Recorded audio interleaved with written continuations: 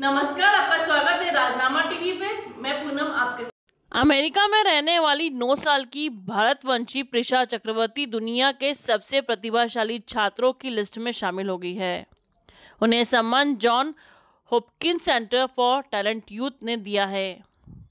Prisha California warm spring elementary school में पढ़ती हैं। सी ने 2023-2024 सत्र में अपने प्रोग्राम में 90 देशों के 16,000 बच्चों का टेस्ट लिया था। इनमें 30 प्रतिशत से कम बच्चों को ही हाई स्कोर मिला, जिसमें वे सबसे प्रतिभाशाली छात्रों की सूची में शामिल हो सके। प्रिशा ने हाई स्कूल और कॉलेज लेवल के कई टेस्ट में अच्छी परफॉर्मेंस दी। इनमें S A T A C T school and college ability test समेत कई एग्ज़ाम शामिल हैं।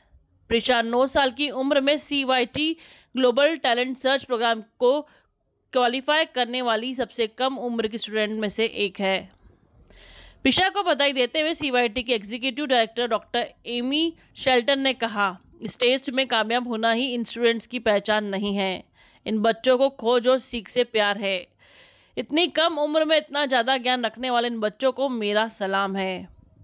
एमी ने आगे कहा, ये बच्चे अपने ज्ञान और जुनून का इस्तेमाल कौन सी खोज करने में करेंगे, ये सोचना बहुत ही रोमांचक है।